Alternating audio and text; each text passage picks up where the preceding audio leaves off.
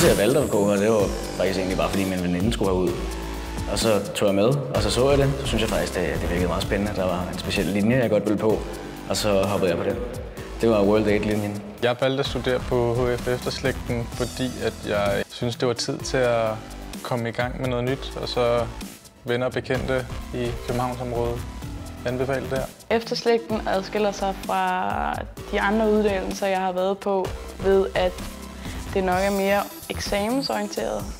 Og så også fordi det her det er en voksenklasse, vi går i, så det er en masse mennesker, der har lavet noget før de begyndte på HF, og ikke er gået direkte fra 10.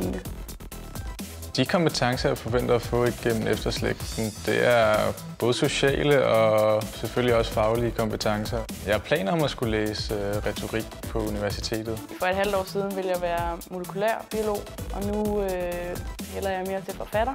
Det efterslægten har givet mig, det er, at jeg, jeg er blevet stærkere. Jeg, øh, jeg, jeg kan mere, end hvad jeg kunne før. Altså selvtilliden er på plads, og mange flere venner.